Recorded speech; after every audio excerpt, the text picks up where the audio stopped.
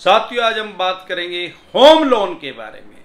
अगर आपका home loan है, या मकान, दुकान, ज़मीन, जदाद, फैक्ट्री, कारखाना, स्कूल, कॉलेज, बंगला, कोठी, या शोरूम का लोन है, फिर आपने उस पर ओडी लिमिट करवाई है, सीसी लिमिट करवाई है, लैब करवाया, लोन अगेंस्ट प्रॉपर्टी करवाया, या होम लोन लिया है, या आपने कोई प्लॉट लिया है, किस सिनेरियो में कोई भी बैंक या एनबीएफसी कंपनी उसमें सेटलमेंट करता है नॉर्मल सिनेरियो में कभी भी कोई भी बैंक या एनबीएफसी कंपनी सेटलमेंट नहीं करता। लेकिन कुछ सिनेरियो ऐसे हैं जिसमें बैंक या एनबीएफसी कंपनी सेटलमेंट करने के लिए मजबूर हो जाते हैं।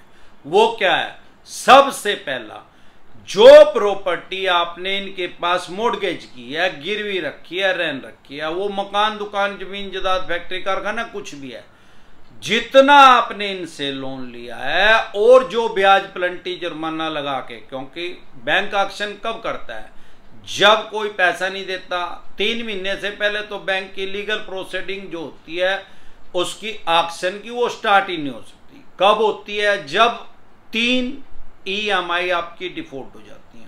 बहुत से आदमी कहते हैं, सर, मैंने दो दे दी, एक रोक ली, फिर तीन दे दी, फिर एक रोक ली, फिर चार दे दी, फिर एक रोक ली। अरे भाई, ऐसे तो पाँच दे के एक रोक दर है। जित दिन तीन रुकगी उस दिन आपका केस एनपीए में चला जाएगा। एनपीए का मतलब नॉन परफॉर्मिंग एसेट ऐसा पैसा जो बैंक या एनबीएफसी कंपनी की नज़रों में अब उसको फ़ायदा नहीं दे रहा।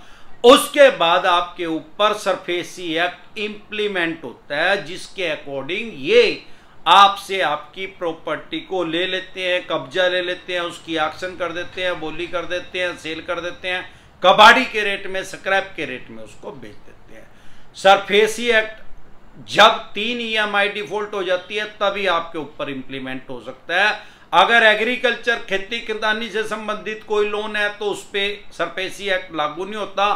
केसीसी का लोन है तो लागू नहीं होता। 20 परसेंट से पैसा आपने कम देना है तो सरफेसी एक्ट लागू नहीं होता। 50 परसेंट से ज़्यादा पैसा जा चुका है तो आप इनके खिलाफ डीआरटी में भी जा सकते हैं, ये भी कोर्ट का नाम है। सरफेसी एक्ट लागू होने का नियम क्या है? तीन महीने के बाद जब आपका केस एनपीए में चला जाएगा तो ये आपको तेरह दो का थर्टीन टू का एक नोटिस इशू करेंगे, जिसमें आपको दो महीने का टाइम देंगे। अब भगवान ना करे, तब भी पैसे नहीं दिए गए तो टोटल पाँच महीने हो गए, क्योंकि तीन महीने से पहले तो सरफेसी एक्ट इंप्लीमेंट ही नहीं होता, और दो महीने का, साठ दिन का ये टाइम देंगे तो पाँच महीने हो जाएँगे। और उसके बाद ये तेरह चार का नोटिस देंगे सैम्बोलिक पोजिशन का। अब इन्होंने सैम्बोलिक पोजीशन का आपको नोटिस दे दिया फ़िज़िकल पोजीशन का भी आपको नोटिस दे दिया, तेरह चार का भी आपको नोटिस दे दिया, तेरह चार का जो थर्टीन फोर का नोटिस है उसमें ये आपको एक महीने का टाइम देंगे। अब टोटल छह महीने हो गए। भगवान ना करे, तब भी आपसे पैसे नहीं दिए गए। तो ये, उसके बाद ऐसा नहीं है कि डायरेक्ट आके आपके घर को लॉक कर देंगे, ताला लगा देंगे, मकान, दुकान, ज़मीन जदाद फैक्ट्री कारखाना, किसी भी चीज़ का लोन है। नियम सब के ऊपर एक या सरफेसी एक्ट के अकॉर्डिंग ही कार्रवाई कर सकते हैं। आपके मकान, दुकान, ज़मीन, जदाद, फैक्ट्री, कारखाना, स्कूल, कॉलेज, बंगला कोठी की पोजेशन लेने के लिए, कब्जा लेने के लिए सिर्फ़ तेरह चार का नोटिस काफ़ी नहीं है। उसके बाद इनको डीएम साहब के ऑफ़िस में जाना पड़ेगा। बहुत सी जगह डीएम बोलते हैं, कुछ स्टेटों में डीसी बोलते हैं और कुछ स्टेटों में इस पोस्ट को कलेक्टर साहब बोलते हैं। वहाँ से परमिशन लेके आनी पड़ेगी, इसकी पोजीशन के लिए ऑर्डर लेके आने पड़ेंगे।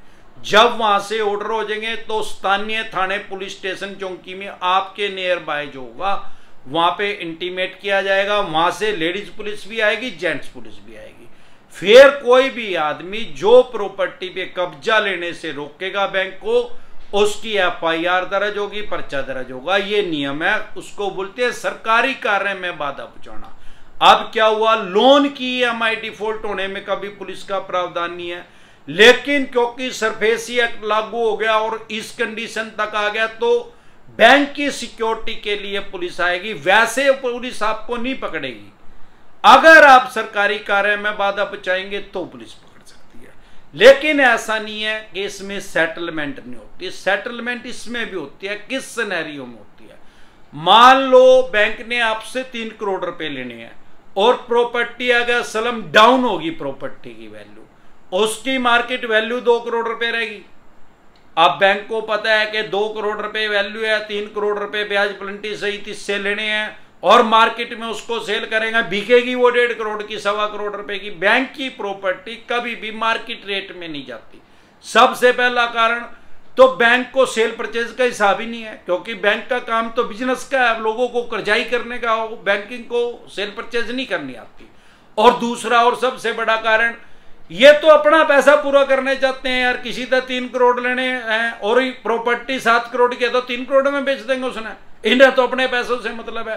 दिक्कत परेशानी कहाँ आई जब प्रॉपर्टी दो करोड़ रुपए की है और लेने तीन करोड़ रुपए हैं। इस सिनेरियो में ये सेटलमेंट करते हैं।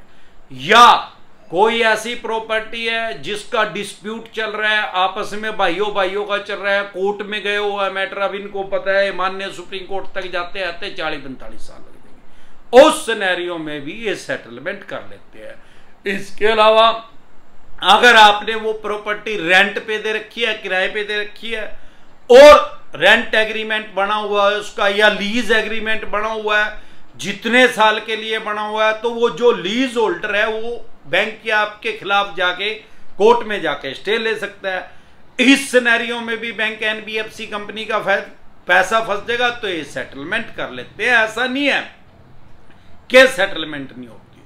उसके अलावा भी कुछ बातें ऐसी हैं जो कॉन्फिडेंशियल है, उनमें भी सेटलमेंट हो जाती है। डरे घबराए नहीं अपने राइट्स और अधिकार जाने। दो तरह के नोटिस को कभी भी अवॉइड ना करें। एक 138 का या चेक बाउंस का या सेक्शन 25 का। अगर कोर्ट से समन आपके पास आ रहा है तो उसको कभी इग्नोर ना करें। नहीं तो आपको चौदह दिन के लिए न्यायिक हिरासत में जाना पड़ सकता है या उससे भी ज़्यादा दिन के लिए, क्योंकि पहले आपका अवेलेबल वारंट इशू हो सकता है, फिर नॉन अवेलेबल हो जाएगा, नहीं जाओगे, फिर पीओ घोषित हो जाओगे, भगोड़ा घोषित हो जाओगे। कोर्ट का भगोड़ा घोषित होना अपराध की श्रेणी में क्रिमिनल केस रजिस्टर्ड हो जाएगा आपके ऊपर। लेकिन अगर आप तुरंत प्रभाव से कोर्ट में चले जाओगे, जैसे ही आपको पता लगेगा, वैसे तो 99 परसेंट फेक नोटिस भेजते हैं, चवन्नी छाप फेक नोटिस डिसेंटेड वाले लिख के वीडियो देख लें। फिर भी अगर आपको जेनुअन लग रहा है तो ई कोड लोड कर ले। ई कोड लोड करके चेक कर ले, आपको पता लग जाएगा। अगर हो ही गया है केस फिर भी ये चार जगह ज़्यादातर लोगों के ऊपर केस करते हैं।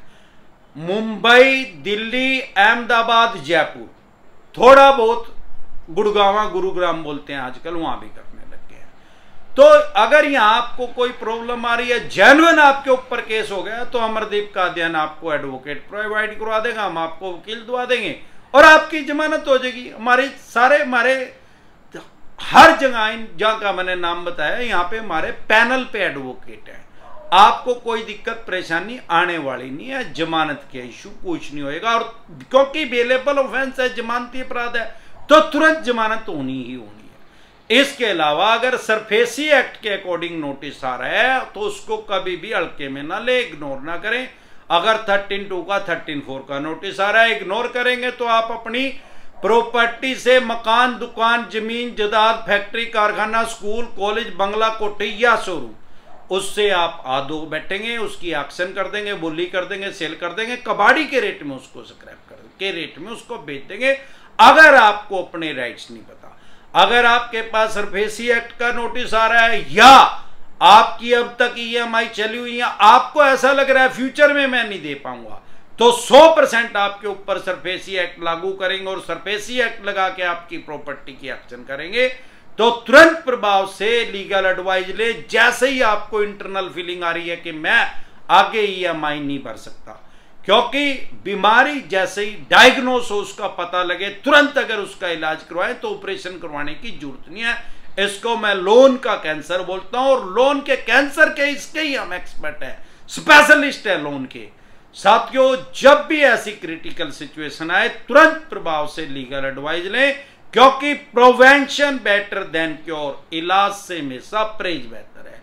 इसी तरह की दिक्कत, परेशानी अगर आ रही है, अगर आप हमारे साथ टेलीफोनिकली जुड़ना चाहते हैं पर्सनल मीटिंग करना चाहते हैं फिर आपका लोन दो करोड़ का है, पाँच का है, पच्चीस का, पचास करोड़ का, जितने भी करोड़ का आपका लोन है। लोन से रिलेटेड जो भी डॉक्यूमेंट्स आपके पास हैं, आपके पास सरफेसी एक्ट 2002 के अकॉर्डिंग नोटिस आ रहा है थर्टीन टू का थर्टीन फोर का सैम्बॉलिक पोजिशन का फ़िज़िकल पोजिशन का।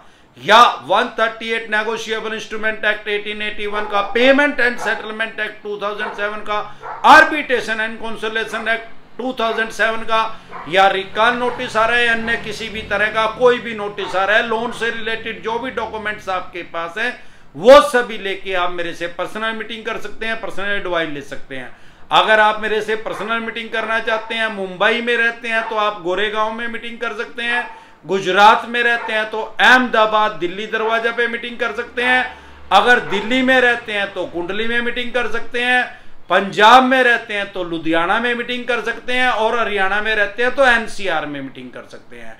एक बार ज़ोर से मिलकर नारा लगाएँगे जय ससुराल वालों की।